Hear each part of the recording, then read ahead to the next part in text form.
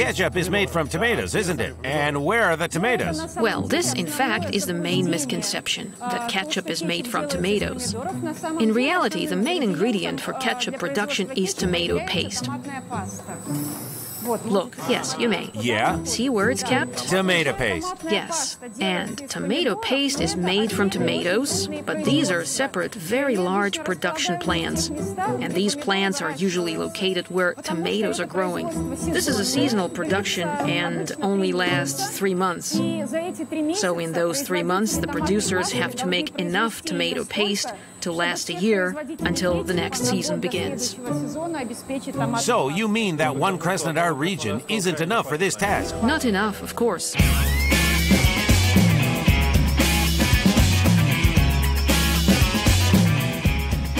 Tomato paste is delivered to the plant in sealed bags. They're opened without a person participating. The bag goes between rotating shafts. Due to this, tomato mass is squeezed out into the container. And from a technological point of view, what decision was made to squeeze everything up to the last drop out of a bag? Well, here are these special shafts, Yes, I'm talking about them. specially designed to let the bag pass between them and all tomato paste, literally to the last drop, stays in the reservoir. Tomato paste, before turning into ketchup, goes into this white room, the laboratory of microbiology. Here, each batch is checked for bacteria that can harm consumers' health and affect the quality of the final product adversely. The raw material is tomato paste, which ketchup is, in fact, made of. So we are going to study it for general microbial content, for E. coli bacteria, for yeast and mold, and for lactic acid microorganisms. Samples of the paste are placed in solutions of nutrient media that are favorable for bacterial growth. If there are unwanted microorganisms contained in the product, after a few days their colonies will multiply and you'll be able to see them with the naked eye. So we have standards, and there's a special standard for each raw material. If we count the colonies, and if we find that there are within these norms, then everything is okay. This is within the norm. And if not, then this material is rejected and sent to the supplier. Tomato paste begins turning into ketchup after additional ingredients are added to it. Good afternoon. Hello, I'm Misha. Dennis. I'd really like to help you, but I don't know what you are doing yet. Tell me about it, okay? Here we weigh dry ingredients. You can try to weigh them. It'd be great. Would you like to? Yes, I'd be happy to, of course. So first you need gloves, Yeah. a respirator. Hands and a respirator. That is dry mixtures. They are so thin. Yes, You need to protect your lungs. yes, yes, yes. These white powders, salt, starch, and sweetener, are the main dry ingredients to produce classic ketchup. First, we need to weigh salt. So let's weigh salt. Let's try. We must weigh five, six, seven. Is that pounds? Yes, Where? Is that how I open it? exactly. Just cut along. Okay, almost there. Nine. How much should there be? Five, six, seven. Okay. Here it is necessary to take a little out. Accuracy is the main thing. A little bit more? Does it go back here? Yes. The recipe includes a sweetener, saccharin. It is labeled as E954. This additive is many times sweeter than sugar and has a lower calorie value. About 20 kilograms are added into 2 tons of the product. Another white powder, which is a must for ketchup, is starch.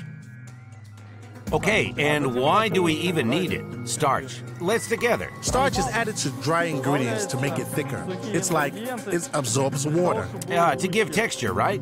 Yes, It's probably necessary. to make it thicker. And we need 60 of starch, don't we? Yes. We've weighed. Yes. Now we're taking dry ingredients to the hopper, taking a hydraulic trolley. Ah, I was thinking right now. Starch.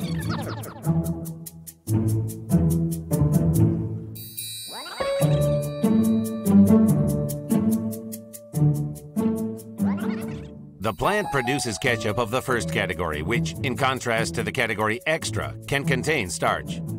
Perfect parking. Right here, there is a specially marked place. And here, the sequence is important starch, salt. It is important salt always goes first because it goes down easier and it won't get stuck in the hopper.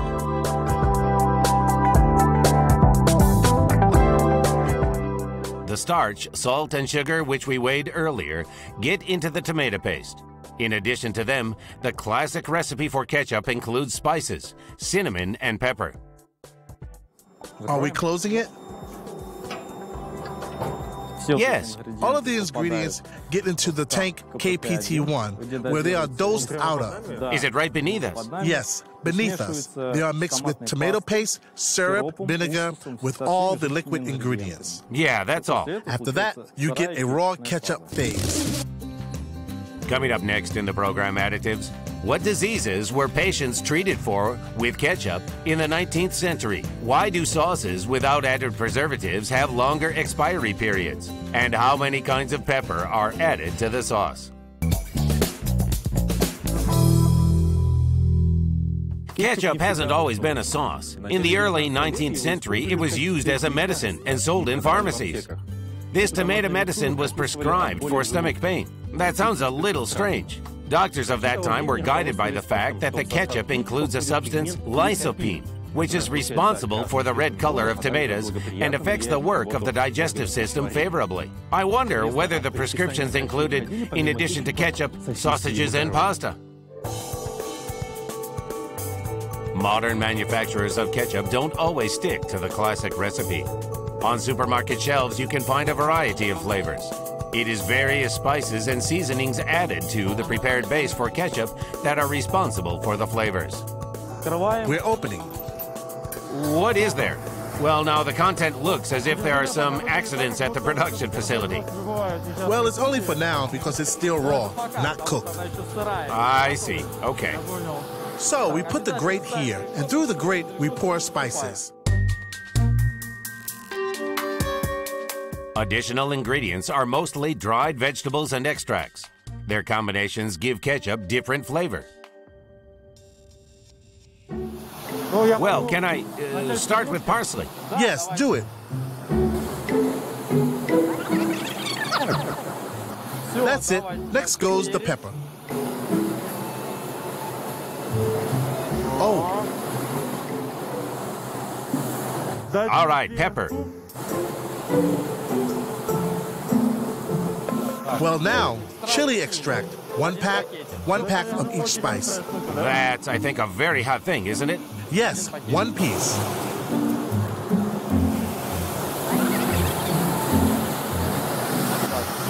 Well, that's it. Well, next, let's take the pink Brazilian pepper.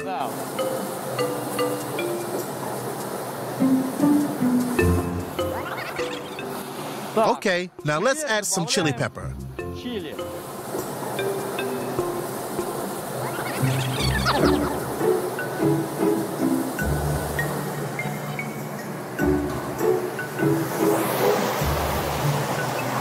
We're closing it. The red button start. We should press it. That's it.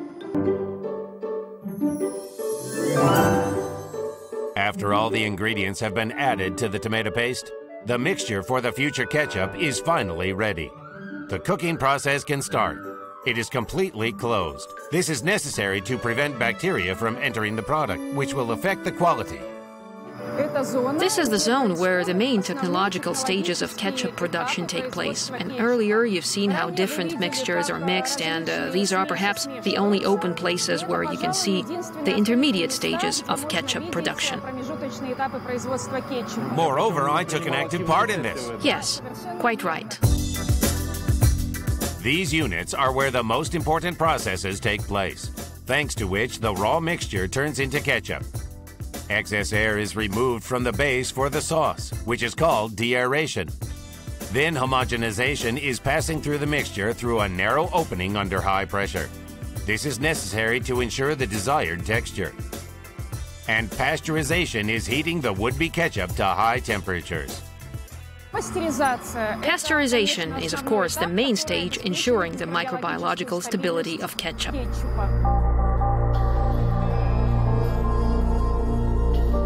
Pasteurization is a process affecting the shelf life of ketchup. Oddly enough, the sauces with the highest content of tomato paste and without preservatives have the longest shelf life.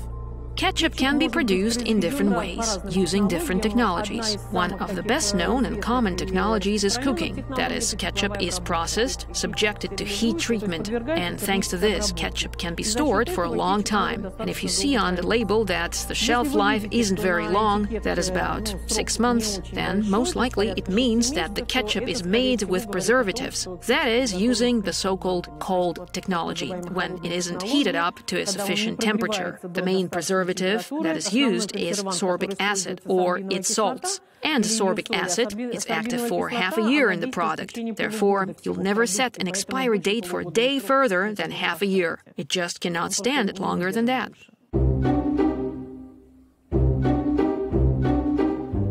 So, Misha Maslov has spent the whole day watching how his favorite sauce, ketchup, is cooked. He hasn't tried the final product, though. It's time for a tasting room.